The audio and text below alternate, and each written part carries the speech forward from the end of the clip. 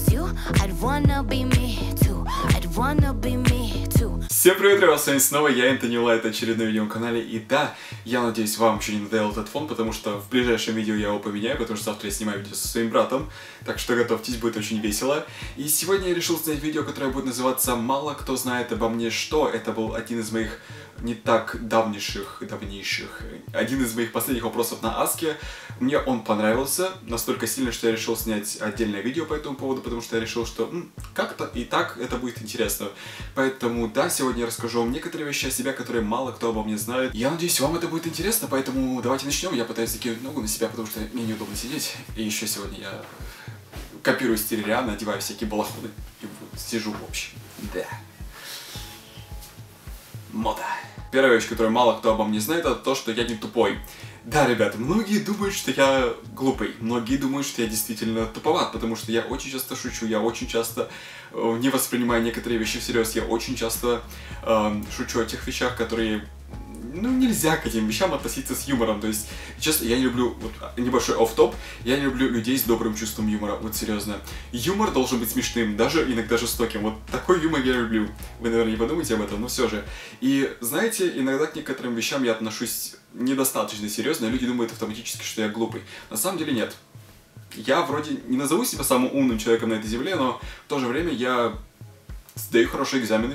Я уже на втором на втором же курсе университета. Меня все еще не выгнали из университета, поэтому я вроде как могу показать, что у меня есть мозги, поэтому мне кажется, что люди иногда ошибочно считают, что я глуп. Мало кто знает обо мне, что я первый ребенок у своей мамы, но я второй ребенок у своего папы, потому что у папы есть э, дочка, она старше меня, и, в общем-то, у нас не прекрасные отношения, поэтому это какой-то очень интересный факт, который вы, наверное, желали просто обо мне узнать. На самом деле нет, кому-то интересно. Но все же, да, это вот как-то вот так вот странно получилось. Но мы все общаемся. Кстати, у меня очень хорошие отношения со всеми моими родственниками. Что странно. Потому что, не знаю, я какой-то антисоциальный иногда. Мало кто знает обо мне, что я прав. Всегда. Если я не прав, я заткнусь, и я не буду говорить. Но, если я прав, и я знаю, что я прав, но вы думаете, что вы правы, это очень странное приложение получилось, но сейчас послушайте меня просто 10 секунд. Я всегда скажу свою точку зрения, если я знаю на 100%, ну, на процентов 90, что я прав. Так или иначе, в конце всех вот этих вот событий, которые там произойдут, я окажусь прав. Всегда так было, всегда так есть и всегда так будет. Люди, которые меня не слушают, совершают ошибки. Возможно, это было сейчас немножко совлюблю... Совлю... Самовлюбленно с моей стороны.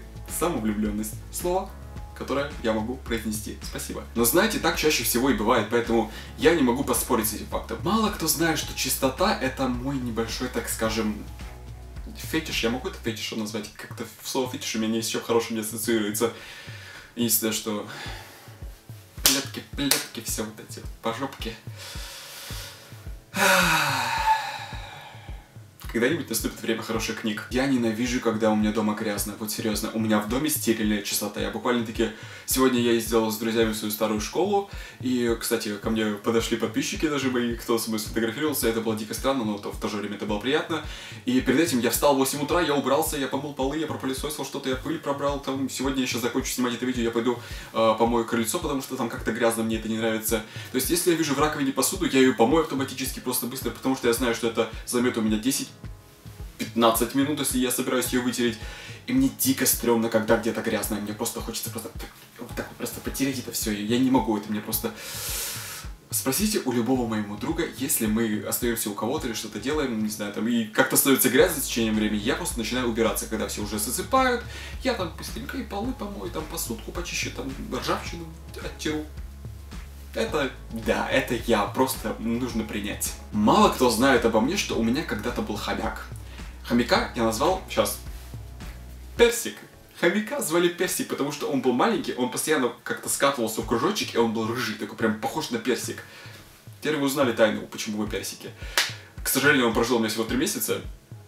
С ним была очень связана ужасная история. Возможно, когда-нибудь я расскажу вам ее, если вам интересно, поэтому Напишите мне внизу в комментариях, если вам интересно узнать, как и что случилось с моим хомяком, потому что это была действительно очень криповая история. Мало кто знает обо мне, что я не боюсь вообще крови, мяса, всего вот этого. В медицине, знаете, когда там показывают в каких-то сериалах там кровь, кишки и все остальное и так далее подобное, все вот это вот, э, когда там проделают операции в этой же анатомии страсти. Я как-то к этому всему нормально отношусь, то есть я не делаю вот это вот этого у меня нет. Я просто как-то смотрю, ничего не происходит, не знаю, возможно я псих. Это непроверенный факт, но просто так получается, что я не боюсь ни вида крови, ни вида мяса, ни вида кишков, ничего, я этого не боюсь, у меня это не вызывает какого-то омерзения. Но я точно знаю, что я бы не пошел никогда учиться на медицинский. Это вот сто процентов не мое. Мало кто знает, что изначально мой канал должны были вести аж, по-моему, 5 блогеров. То есть, э, с течением, конечно, времени это стал мой канал, точнее, когда пришло время вкладывания, выгружания загрузки первого видео, я остался один, но изначально этот канал назывался там что-то Travel Adventure, что-то в этом духе, короче. И я там с пятью ребятами собирался организовывать канал о путешествиях и так далее и тому подобное. И изначально там должны были только влоги и все остальное. Но ребята выбыли, остался только канал Anthony Улай. Вот так вот. Это был очень странный факт, который вы наверняка не ожидали в этой как-то... Всплыло то, что не должно было всплывать. Там как шутки про трупы. Отлично. Мало кто знает, что я просто ненавижу, когда меня с кем-то сравнивают. Вот серьезно, меня это просто выводит из себя настолько сильно, что я просто начинаю немножко подистеривать. Нет такого слова, но вы поняли, о чем я говорю.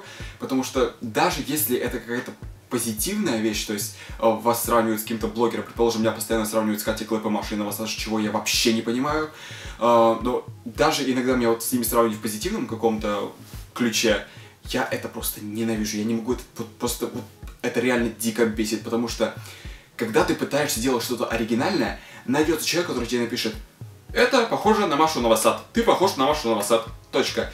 И я просто думаю, а вот такой черт я вообще это все делаю, если у Маши Новосад просто вот что-то подобное есть. Вот на, на кой черт я это делаю? Вот зачем? Ты стараешься сделать что-то индивидуальное, что-то свое, и как донести до людей, что это ты, что ты никого не копируешь, мне зачем кого копировать? У меня есть индивидуальность, у меня есть харизма, у меня есть э, куски обаяния, которые просто где-то валяются в разных частях моего тела. Задницы у меня нет, поэтому все, все ушло в бедра. Hey, I got it from my mama.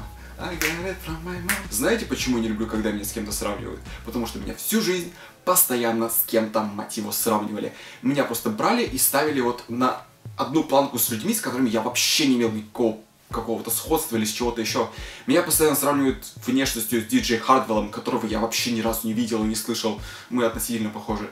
И знаете, это просто невероятно дико раздражает, когда тебе говорят, что ты можешь быть э, лучше, но лучше этого человека тебе все равно не стать, потому что он оригинал, а ты жалкая пародия. Вот в этом духе.